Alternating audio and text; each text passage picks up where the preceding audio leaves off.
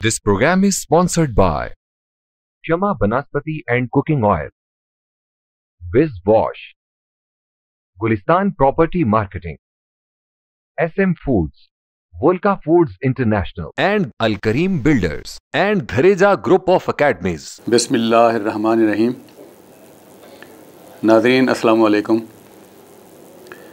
यह प्रोग्राम है दरी टाकरा और मैं हूँ आपका मेज़बान अब्दुल लतीफ़ भट्टी। मेरे साथ तशरीफ़ फरमा है जना मुनीर शाहीन साहब। ये ज़री तजिया कार हैं और बानी और चेयरमैन हैं काशकार फाउंडेशन पाकिस्तान के। इनके तजर्बात से हम फ़ायदा लेते आ रहे हैं। काफ़ी अरसे से इनके प्रोग्राम हमारे इल्म में इजाफ़ा करते हैं। ज़िम्मेदार, डीलर और मुतलका साहबान जितने भी हैं, ज़रात से उनके इल्म में इजाफ़ा भी होता है। और काशकार की रहनुमाई की वजह से जो पैदावार में इजाफ़ा मुमकिन है, वो भी हम इनसे फ़ायदा ले रहे हैं और इन लेते रहेंगे। नादरीन, इस वक्त कपास अपने जोबन पर है। फल, फूल, कलियाँ, टिंडे, पत्ते और इस वक्त फ़सल की जो सूरत हाल है, वो हमारे सामने है। तो इस लिहाज से हम देख रहे हैं कि डीलर का किरदार, महकमा ज़रात का किरदार और ज़िम्मेदार का अपना ख़ुद का किरदार, वो क्या है? और कपास को हम मज़ीद बेहतर कैसे कर सकते हैं? क्योंकि इस दफ़ा महकमा ज़रात की जो बेहतर कारकर्दगी हमारे सामने आई पी एम की सूरत में आई है, वो अच्छे इस वक्त और उम्मीद अफजा रिज़ल्ट दे रही है। तो उसके ऊपर आज हम चाह रहे थे कि ऐसी गुफ्तु करें जो ज़िम्मेदार के फ़ायदा में हो और मुल्क को खुशहाल बना सके। तो महकमदरात ने ये जो इतलाक़ किया है आई पी एम का तो मैं अपने तजिया कार जनाब मुनीर शाहीन साहब से इतना रहनुमाई लेना चाहूँगा कि ये आई पी एम ऐसे हमें समझाएँ कि जो हमारा काशकार जिसकी तरफ़ बहुत कम लोगों का ध्यान होता है और वो घर बैठा हुआ है, अपने खेत में काम करता रहता है। ये नई नई टेक्नोलॉजी जब वो सुनता है तो उसके लिए दो, तीन, चार साल तो वैसे लग जाते हैं कि ये चीज़ क्या है तो वो समझ नहीं पाता। हमारी कोशिश है कि हम उस ज़िम्मेदार को अपने साथ लेकर चलें, जिसके कंधे पर मीशत का ज़रूरी हिसाब से बोझ है। तो ये सवाल बनता है, मेरे जहन में आ रहा है कि मैं जनाब मुनीर शाहीन साहब से पूछूँ कि ये जो कामयाब प्रोग्राम इस वक्त तक जो कामयाब नज़र आए आईपीएम का उसके बारे में हमें बताएँ ये क्या शय है? जनाब मुनीर शाहीन साहब। बिस्मिल्लाहिर्रहमानिर्रहीम। देखें जी इस वक्त आईपीएम का इतलाक़ महकमा ज़रात ने पूरी ईमानदारी के साथ किया है। जी। अब सवाल ये पैदा होता है कि आईपीएम पहले कहाँ था? आईपीएम पहले भी मौजूद था और वो महकमा ज़रात की फ़ाइलों में ही मौजूद था। लेकिन उसका इतलाक नहीं किया गया। उसके ट्रायल तो किए गए। जो बायोलॉजिकल लिबार्ट्रियाँ थी वो भी बनाई गई। उनमें कीड़े ही मर गए कीड़े ख़त्म हो गए किसी ने तवज्जो ना दी। दूसरे लफ्ज़ों में जो आईपीएम पे काम का आगाज़ किया गया शुरू किया गया उसको डिस्ट्रॉय कर दिया गया ख़त्म कर दिया गया। दानिस्ता या गैर दानिस्ता। वो इतना मौसर ना हो सका कि उसके जो फ़ायदे हैं वो किसान तक पहुँच पाते। सही। वो ख़बरों की हद तक और फाइलों की हद तक और मीटकों की हद तक रहा। तो आज जो आईपीएम का इतलाक़ हुआ है, ये सिर्फ़ महकमा ज़रात की ईमानदारी के साथ, फार्मर के साथ खड़े हो जाने से हुआ है। अदरवाइज़ आईपीएम पहले भी मौजूद था, लेकिन कागज़ों में मौजूद था, उसे निकाला नहीं गया था। आज जब आईपीएम का लफज अदा किया गया और लोगों ने सुना, फार्मर ने सुना अभी भी फार्मर हमारा कंफ्यूज है भट्टी साहब। अच्छा वो ये समझता है कि जो आईपीएम है ये शायद पेस्टिसाइड का मुतबादल है कि पेस्टिसाइड ना करें और ये कौरतुमा कर लें या तंबाकू कर लें तो ये आईपीएम है। क्योंकि अभी पूरा आईपीएम का जो कंसेप्ट है ना वो अभी हमारे फार्मर का क्लियर नहीं हुआ। सही इसीलिए तो ये मैंने आपसे पूछा जी। तो ये ज़रूरी है कि आसान लफ्ज़ों में आसान अल्फाज में और सादे तरीके से बात की जाए ताकि हमारा फार्मर आसानी से समझ सके कि आईपीएम क्या है।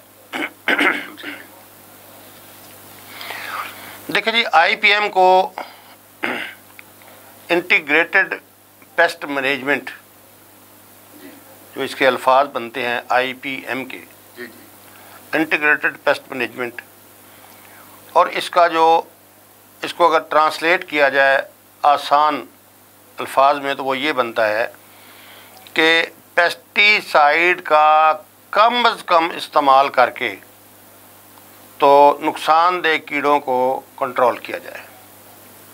कम अज़ कम। बिल्कुल सही। तो इसका मतलब ये हुआ कि पेस्टिसाइड को जो हम पहला और आखिरी हल समझते हैं आईपीएम में ऐसा नहीं है। आईपीएम में पेस्टिसाइड आखिरी हल है कि जब आप सारे अपनी कोशिशें कर लेते हैं अपने पंजाबी में क्या कहते हैं कि तरले मार लेते हैं। आप और सारे हरबे इस्तेमाल करने के बाद भी आपका जो नुकसानदेह कीड़ा है वो नुकसानदेह हद से नीचे नहीं आता तो आप उसे पेस्टिसाइड के साथ कंट्रोल कर सकते हैं। बिल्कुल सही बात। ठीक है जी। इसके चार पाँच तरीके हैं। चार पाँच हिस्सों में आईपीएम को तकसीम किया गया है। एक है कल्चर कंट्रोल दूसरा है जी बायोलॉजिकल कंट्रोल मैकेनिकल कंट्रोल कानूनी कंट्रोल और केमिकल कंट्रोल बिल्कुल सही बिल्कुल सही। इन सब तरीक़ों पे अमल करके हम आईपीएम का सही तौर पे अतलाक कर सकते हैं। ऐसा नहीं है कि सिर्फ़ पेस्टिसाइड रोक दें और बायोलॉजिकल दूसरा जो हमारे कौरतुमा वगैरह है उनका स्प्रे करके हमने आईपीएम को मुकम्मल कर लिया या हमने आईपीएम अपने आप पे अपनी फ़सलों पे लागू कर लिया। ऐसा नहीं है। अब कल्चरल कंट्रोल जो है वो इस तरह किया जाता है कि हम अपने जो खेत है उसमें पौधों की तादाद को थोड़ा या ज़्यादा करके हम कंट्रोल कर सकते हैं। जी जी। और काश्त का जो वक्त हो वक्त है अगेती पिछेती फ़सल जी जी। कि फ़लाँ तारीख को हमने काश्त करना है मौसम के लिहाज से फ़लाँ तारीख तक काश्त कर लें या ना करें तो काश्त के वक्त को आगे पीछे करके हम उसको कर सकते हैं। खादों की मकदार को ज़्यादा या कम करके हम इसको कंट्रोल कर सकते हैं। और पानी की कमी पेशी करके हम कंट्रोल कर सकते हैं। बेहतरी की तरफ़ हम मतलब हम आ सकते हैं।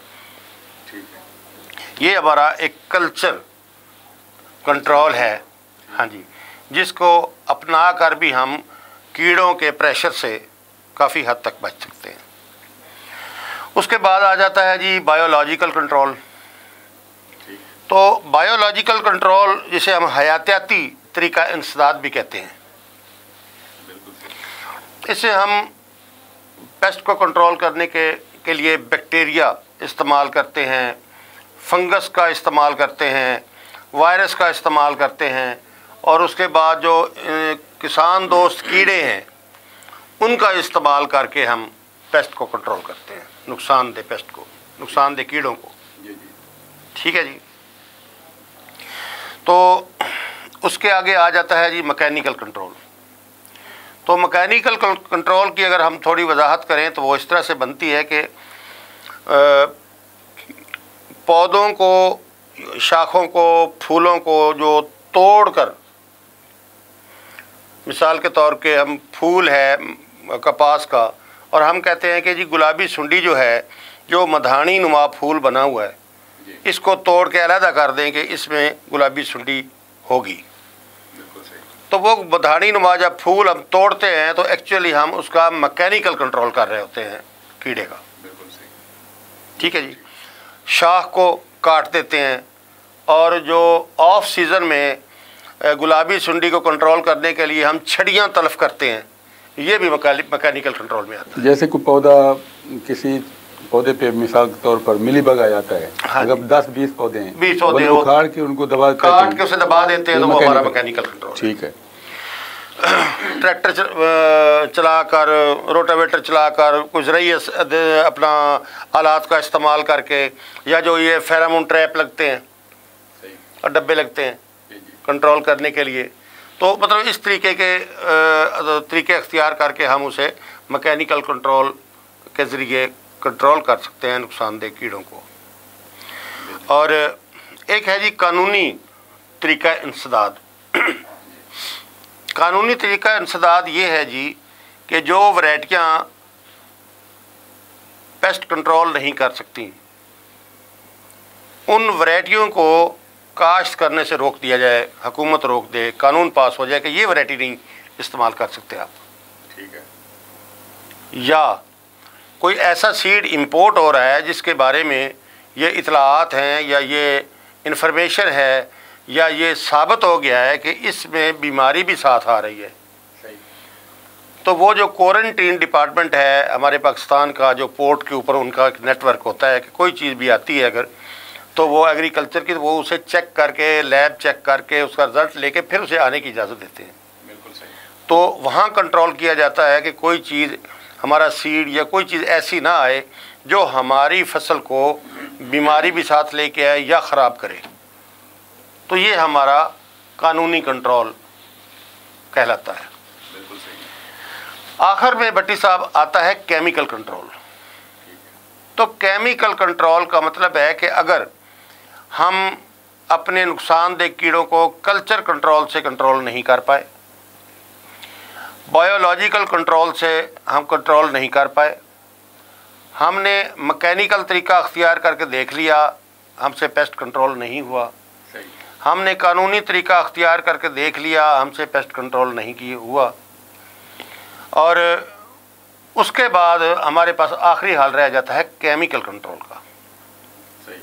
तो फिर हम पेस्टिसाइड इस्तेमाल कर सकते हैं और वो भी सिर्फ़ वो पेस्टिसाइड इस्तेमाल कर सकते हैं जो उस वक्त मौजूद कीड़े के लिए इंपोर्ट की गई हो या तैयार की गई हो जो रिकमेंडेड हो उसके लिए। ये नहीं है कि अगर सफ़ेद मक्खी है तो आपने तेले वाली दवाई उठा के कर दी या सुंडी वाली दवाई उठा के कर दी या किस बिली बग की दवाई जो है वो आपने सफ़ेद मक्खी पे करवा दी। ऐसा नहीं। जो सफ़ेद मक्खी के लिए रिकमेंडेड दवाई है उसको स्प्रे करना चाहिए दूसरी नहीं करनी चाहिए। ज़बरदस्त। प्यारे ज़िम्मेदार भाइयों बड़ी तफसील के साथ, मुनीर शहीन साहब ने हमें आईपीएम समझाया, जो मुझे समझ आई है। मैं चाहता हूँ कि मुख्तसरा उसके ऊपर मैं भी थोड़ा सा आपकी बेहतरी के लिए, आपको मज़ीद समझाने के लिए, क्लियर करने के लिए मैं भी थोड़ी सी बात कर लेता हूँ।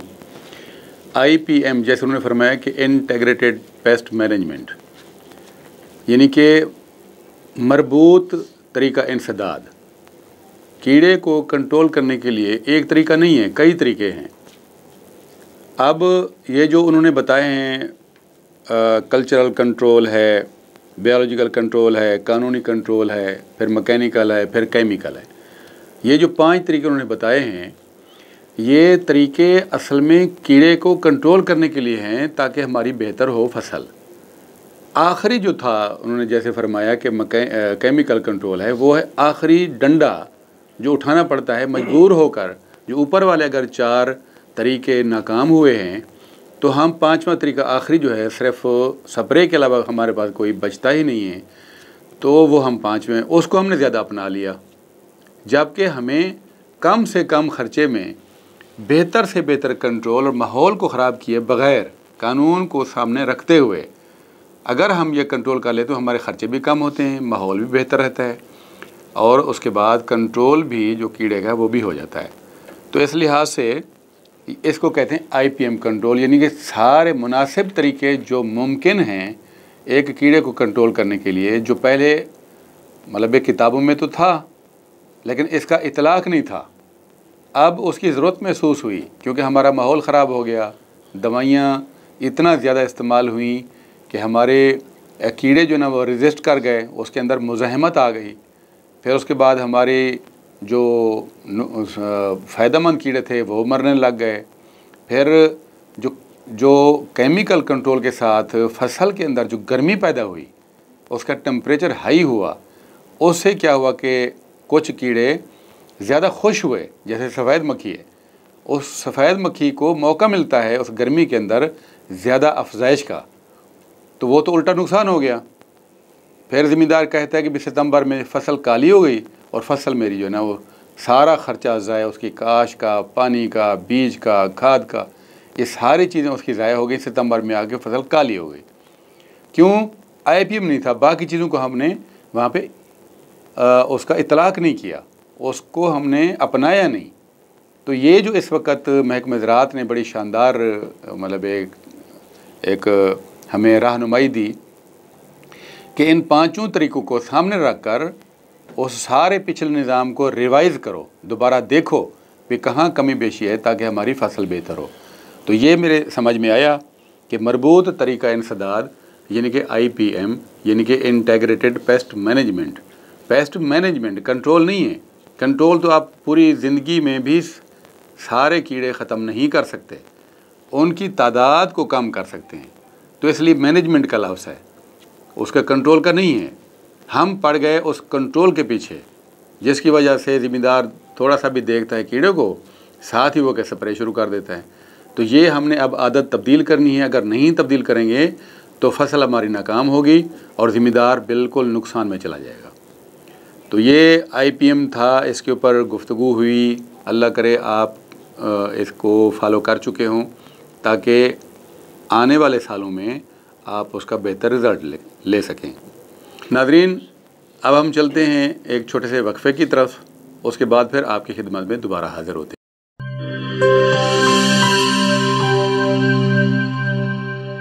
this programme is sponsored by Kshama Vanaspati and cooking oil Wiz Wash Gulistan property marketing S M foods Volca Foods International, and Al Kareem Builders, and Dhareja Group of Academies.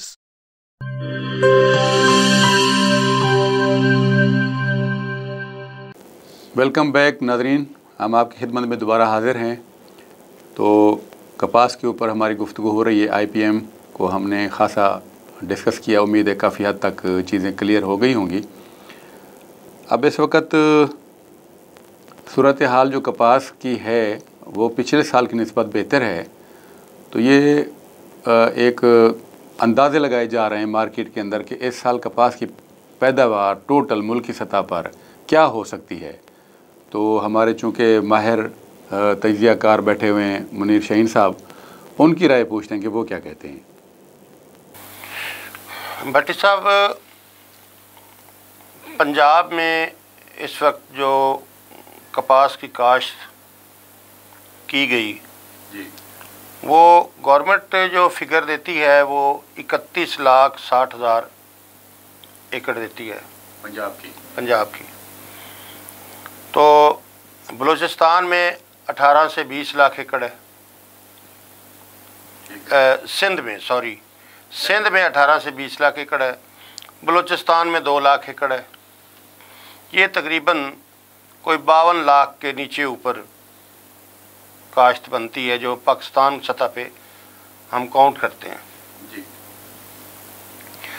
तो इसके जो एवरेज हमें नज़र आ रही है जो अगेती काश्त कपास उतर रही है चुनाई हो रही है मंडियों में आ रही है तो उसकी जो प्रोडक्शन है उससे अंदाज़ा हो रहा है कि ये 20 से 25 मण फ़ी एकड़ तक आ सकती है मोहतात अंदाजे के मुताबिक। अच्छा। और अगर 18 मन फ़ी एकड़ कपास की प्रोडक्शन आती है औसत। औसत आती है तो उससे डेढ़ गांठ रुई बनती है। एक गांठ जो रुई की है वो तकरीबन चार बन की होती है। सही। और डेढ़ गांठ बनती है लेकिन हमारा अंदाज़ा जो है वो इससे थोड़ा ज़्यादा है। मैं समझता हूँ कि ये 20 से 25 मन के दरमियान हमारी पैदावार। पैदावार आ सकती है आ रही है। तो इस लिहाज से हम डेढ़ मन से डेढ़ मन जो हमारी डेढ़ गांठ है फ़ी एकड़ उससे हम ऊपर जा रहे हैं दो गांठों की तरफ़। जो बेल्स हैं वो तकरीबन दो बन सकती हैं जो एक एकड़ से हमारे अंदाजे के मुताबिक। डेढ़ से दो पौने दो और दो तक हमारी एवरेज आ सकती है। जो बहुत अच्छी फ़सल है जो बहुत अच्छी प्रोडक्शन है। और इस हिसाब से अगर हम अंदाज़ा लगाएँ कि हमारी पंजाब की बलूचिस्तान की और सिंध की। अगर हम दो दो दो घंटे पर एकड़ लगाएँ या पौने दो लगाएँ तो ये तकरीबन हमारी कोई नबे लाख नबे से नब्बे लाख गांठ या एक करोड़ गांठ तक जाके ये हमारी गांठ गिरती है। सही। और अगर नब्बे लाख गांठ हम पैदा कर लेते हैं पाकिस्तान में तो जनाब ये पूरी कौम के लिए, हकूमत के लिए और किसानों के लिए और जिनर्स के लिए, टेक्सटाइल मिल ऑनर के लिए और ये आयल मिल वालों को जो बिनौले से आयल बनाते हैं, वो भी हमारी इस इंडस्ट्री का हिस्सा है, काटन इंडस्ट्री का। मुबारक वाली बात होगी कि हमारी काटन 2020 में गिर गई और 2021 में बहाल हो गई। ये एक बहुत बड़ा एक कदम होगा सही बात कि 2021 इन ताला हमारी कटा कप, कपास की बहाली का साल होगा।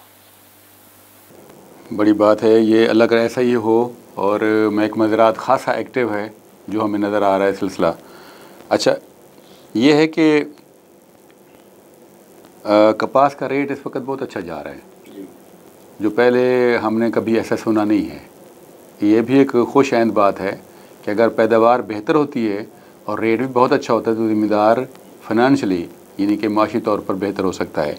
तो कपास की ख़रीदारी के हवाले से हुकूमत ने जो इकदाम किए हैं क्या आप उससे मुतमिन हैं? जी हुकूमत ने जो कपास की इमदादी कीमत अनाउंस की है। ये हकूमत की नेक नियति और किसान दोस्ती का मुँह बोलता सबूत है। आप देखें कि अल्लाह ताला ने करम नवाजी की कि जो प्राइवेट मार्केट है वो हमारी जो गवर्नमेंट की तयशुदा कीमत है पाँच हज़ार फ़ी मन जी उससे ज़्यादा खड़ी है। तो गवर्नमेंट को गवर्नमेंट को अपनी ख़रीदारी करने की ज़रूरत नहीं है। अगर पाँच हज़ार फ़ी मन से ज़्यादा प्राइवेट सेक्टर ख़रीद रहा है तो गवर्नमेंट को ख़रीदारी करने की ज़रूरत ही नहीं है। बिल्कुल सही बात। और अगर हमारी एक करोड़ गांठ पैदा हो जाती है जैसे हम अंदाज़ा कर रहे हैं कि नब्बे से एक करोड़ गांठ हमारी इन ताला पैदा हो जाएगी।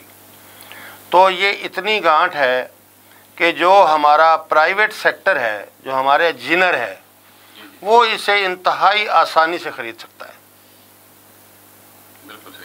उसके पास इतनी कैपेसिटी मौजूद है इतनी ख़रीदारी की क़वत मौजूद है कि वो एक करोड़ गांठ को हमारा पाकिस्तान का जो जिनर है वो बिल्कुल आसानी से ख़रीद सकता है। इसलिए हमें कोई खौफ नहीं है हमें डर नहीं है कि हमारा जो रुई ख़रीदारी का कपास की ख़रीदारी का अमल है वो कहीं मुतासर होगा। लेकिन इसके साथ मैं हकूमत पाकिस्तान को एक गुजारिश करूँगा कि हालात बदलते हुए पता नहीं चलता। हालात किस वक्त करवट बदल जाए कोई पता नहीं चलता। हिफ्स मातकदम जो आपका इदारा ट्रेडिंग कॉरपोरेशन ऑफ़ पाकिस्तान है टीसीपी जिसके ज़िम्मे है कि अगर कपास की मार्केट गिरती है पाँच हज़ार से नीचे आती है तो वो टीसीपी का इदारा रेगुलेट हो जाता है वो फौरी तौर पर ख़रीदारी शुरू कर देता है। ताकि ज़िम्मेदार को ताकि ज़िम्मेदार को नुकसान ना हो। तो टीसीपी का जो इदारा है उसने पिछले कोई छः सात साल से काम नहीं किया। उसके पास मुलाजम पूरे नहीं हैं। अगर वो आज काम शुरू करे तो तकरीबन उसे दो महीने लग जाते हैं। अखबार में ऐड देगा फिर एम्प्लाई रखेगा अपना लीगल प्रोसेस पूरा करेगा। तो दो महीने बाद उसकी जो तैयारी है वो मुकम्मल होगी।